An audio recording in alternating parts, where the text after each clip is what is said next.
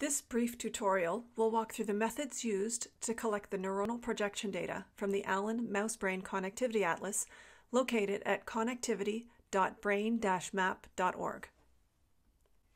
The Allen Mouse Brain Connectivity Atlas is a map of long-range neuronal projections in the adult mouse brain. To obtain these data, mice were injected with a recombinant AAV virus that was targeted either stereotaxically or functionally. The virus delivered a message to the infected cells to produce green fluorescent protein throughout the extent of the cell, effectively labeling cells in an anterograde fashion. High throughput sectioning and imaging was performed, and these data were registered into the Common Coordinate Framework. I'll walk through each of these steps in more detail. The first phase of this project aimed to understand all the projections from a brain region. To do this, recombinant adeno-associated virus, or RAAV, containing the message for a cytosolic green fluorescent protein, was injected stereotaxically into a single location within the right hemisphere of a mouse brain.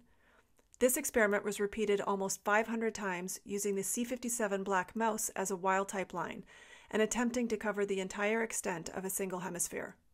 This image is an example of what the raw data looks like with an injection in the motor cortex showing projections to other regions of the cortex ipsilaterally, to the contralateral side, to subcortical regions, and to the brain stem to peripheral targets. The second phase of this project aimed at looking at the contributions of specific cell populations to the overall projections and involved using the targeting strategy pictured here. This strategy took advantage of the suite of transgenic mouse lines available from the Jackson Laboratories in which this form of the virus was injected into regions similar to the first phase of the project.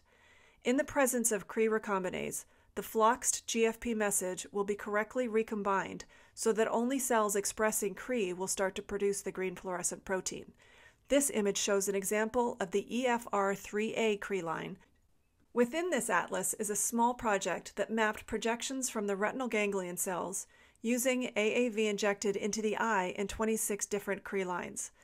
This dataset includes projection tracings, whole mount, and retinal cross sections stained via immunohistochemistry. As the Allen Institute started concentrating on regions within the visual cortex, they had to target higher visual areas using functional maps instead of stereotaxically. Experiments that targeted injection sites with intrinsic signal imaging include the sign maps in the online interface.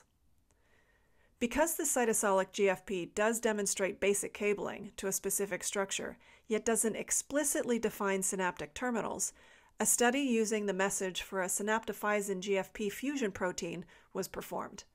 Synaptophysin is a protein in presynaptic terminals and shows enhanced diffuse signal in regions with synapses in these experiments. Finally, a project to further target specific populations of cells used this strategy. First, Cre was delivered via canine adenovirus, or CAV, which is a retrovirus. And unlike the anterograde AAV virus, this tracer is a retrograde tracer, which means that CAV injection into a structure is picked up by the terminals of a neuron and transported back to the cell bodies.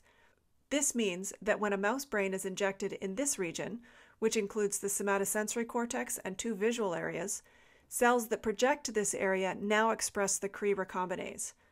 Now, when you inject a floxed RAAV into the primary visual cortex, you will see not only those projections that go to the region you injected with CAV, but you will also see what other regions of the brain those neurons project to. To give you a sense of the difference this makes, this first image shows the neuronal projections of cells that project to the structures that we injected into. And contrast this image, which shows the projections defined from the same injection site but using an RBP4 Cre line, which is enriched in cortical layer 5 cells. On top of the unique genetic tools in this resource, you also have a unique method of imaging these brains.